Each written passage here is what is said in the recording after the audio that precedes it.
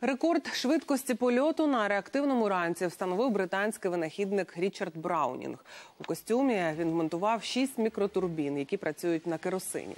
Під час випробувань над озером поблизу міста Рейдінг чоловік розігнався до швидкості 52 кілометри на годину.